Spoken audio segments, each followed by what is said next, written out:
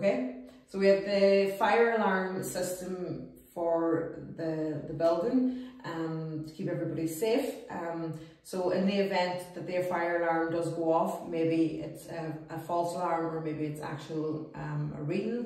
alarm, um, you come to the board and turn your key to the left and you'll see it the screen light up here to silence the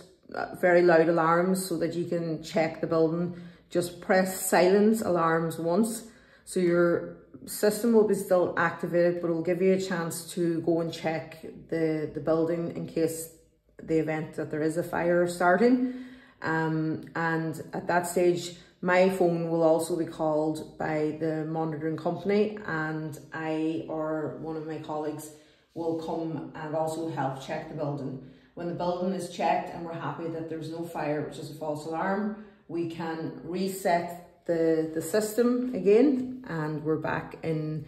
um, fire mode detecting any fires and we can turn the system off.